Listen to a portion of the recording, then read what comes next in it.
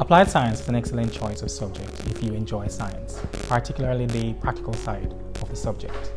Practical work is necessary, essential, and an unavoidable part which allows you to develop your understanding in all three of the sciences the bio, the chem, and the physics. Through the course, you will learn how to collect data, how to evaluate it, and how to draw conclusions. Skills that will help you not only in higher education and employment, but throughout life.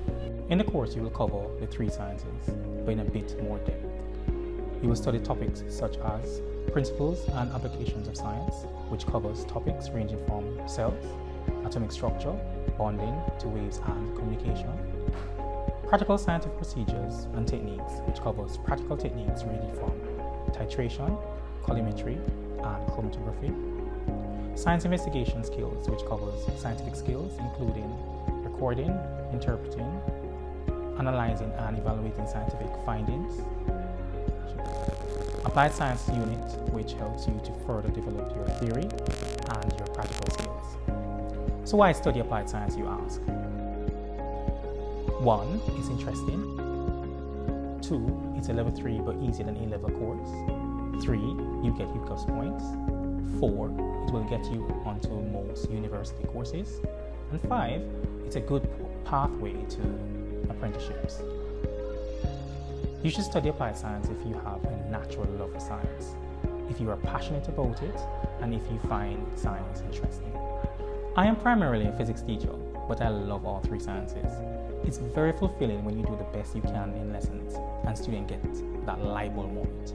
For me, that's my why. That is why I enjoy applied science.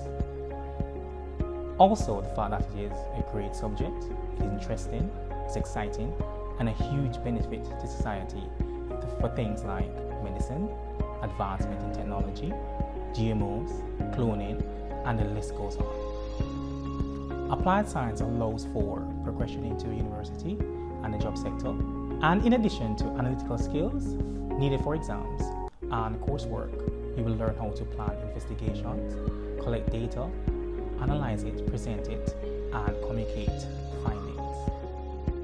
The main purpose of this qualification is to develop the scientific principles and the techniques for you to progress um, to employment in fields such as life science, environmental science, forensic science, medical science, and biological science. If applied science sounds like something you are interested in, you should definitely apply.